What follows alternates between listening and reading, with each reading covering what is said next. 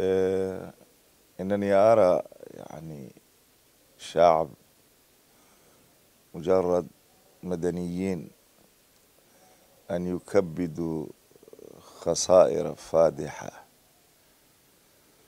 عناصر إرهابيين يعني تدل إلى مدى الشعب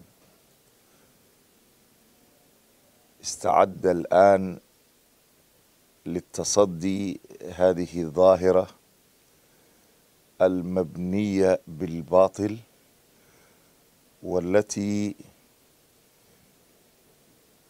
أباحت سفك دماء الأبرياء وانتهاك أعراضهم وممتلكاتهم يجب على الحكومة الوطنية أن تقف إلى جانب هذا الشعب الذي اتصف بالشجاعة وأن تتعاون مع الدول التي تكافح العناصر الإرهابية في أرجاء العالم وأن تمد إلى أو أن تمد إليهم كل ما تستطيع من أسلحة وتدريبات عسكرية ومرتبات شهرية مهما كانت الظروف تحيط بها الحكومة.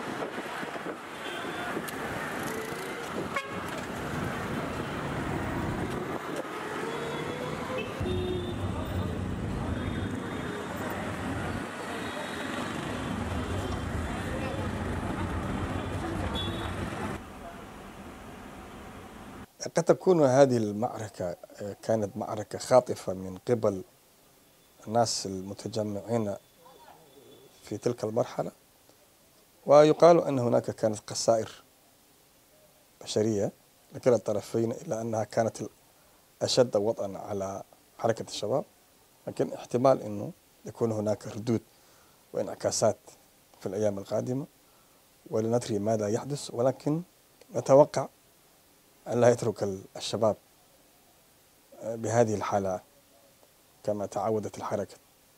سوف تقوم بانتقام ضد من سوف تصفهم مرتدين أو ما أدري مرتزقة أو ما هذا القبيل. احتمال أنه بعض الأهالي غير مرتاحين بكيفية إدارة ال- المدن والقرى التي تقع تحت سيطرة حركة الشباب. أو قد يكون هذا بداية التمرد. ولكن لا ندري متى يعني يعني يتمدد إلى أم- أماكن أخرى أو كيف يكون ال- الاستجابة للقبائل الأخرى والعشائر الأخرى. وكما نعلم أن هذه القبيلة التي الآن حاولت التمرد هذه الحركة تمردت في العام الماضي ودارت معركة بينهما وبين الشباب فكانت المعركة سجال فيما بينهم بينهما. قد كانت مرات كان لصالح حركة ومرات كان لصالح العشيرة.